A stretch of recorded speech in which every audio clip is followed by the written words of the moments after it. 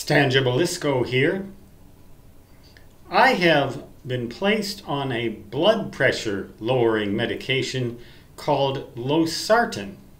That's the generic or chemical name of it.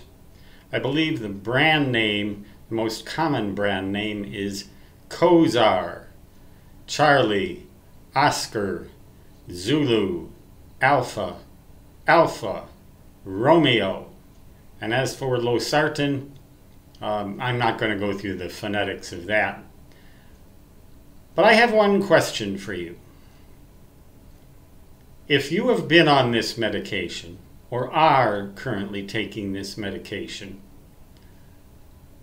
how has it worked for you? Has it been effective? What kind of side effects have you noticed from this medication? That's all. Uh, I have a very serious blood pressure problem. If unmedicated, it can rise as high as 200 over 110, just ridiculous numbers.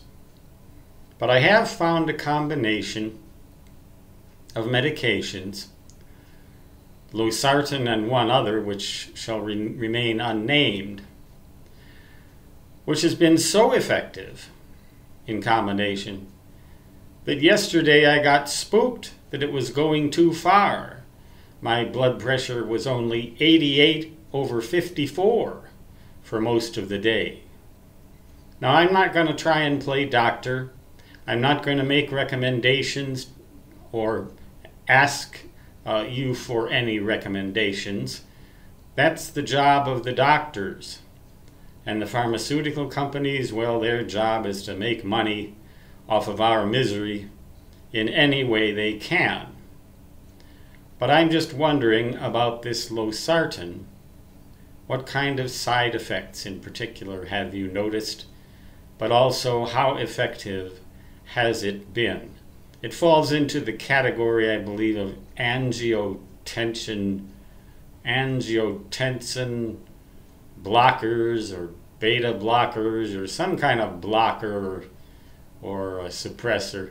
Something that screws up your nervous system supposedly to lower your blood pressure and, of course, do other things.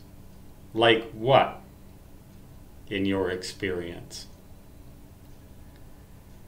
Stan Gibilisco signing off.